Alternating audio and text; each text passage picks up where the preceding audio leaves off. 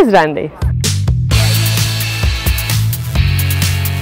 Arkadaşlar merhabalar. Prizren Kalesi'ne çıktık. Prizren Kalesi'ne çıkmak biraz zorlu bir yolculuk.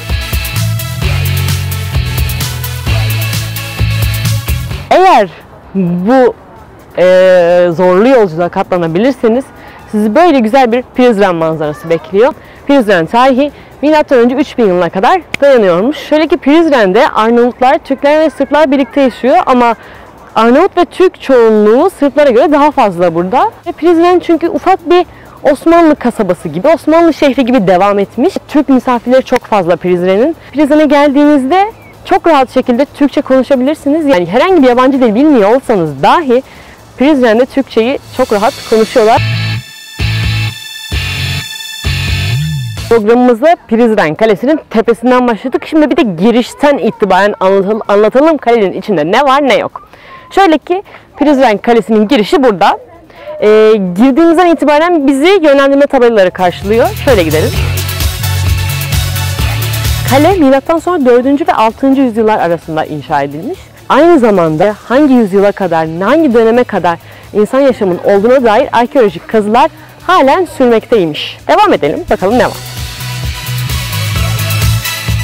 Gözetleme kulesi şehrin tüm noktalarına hakim bir noktada bulunmakta ve olası bir işgal durumunda e, altındaki tünel sayesinde tüm orduyu ve en azından şehrin üst kısmını kurtarabilme şansına sahip bir nokta üzerine inşa edilmiş gözetleme kulesi. Kaleyi bu kadar gezdiğimiz yeter sanırım. Biraz da şehre inelim. Bakalım Prizren şehrin içinde ne var ne yok bizleri ne bekliyor.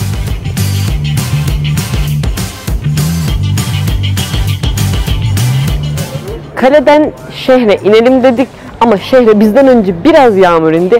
O yüzden kısa bir ara verdik. Şu an tam akşamüstü saatlerindeyiz. Sinanpaşa Camisi önündeyiz. Sinanpaşa Camisi Prizren'in en çok bilinen ve gerçekten sevilen simgelerinden bir tanesi. 1615 yılında Sinan Paşa'nın bizatihi kendisi tarafından yaptırılmış. 2016 yılında TİKA tarafından restore edilmiş ee, bir cami. Şu an Sinan Paşa Camii'nin bahçesindeyiz. Ee, turistlere özel hediyelik eşyalar e, alabilecekleri çok tatlı bir yer yapıp yapmış TİKA buraya. Renkli görüntüler sergileniyor ve e, turistik eşyalar alabileceğiniz bir nokta. Bakalım ne var ne. yok.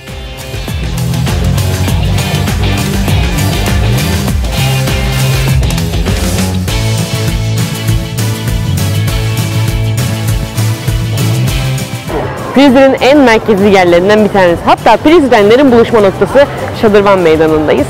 Ee, Prizrenlerin söylediği bir rivayet var. Eğer bu şadırvandan su içersen Prizren'i görmeden ölmezmişsin.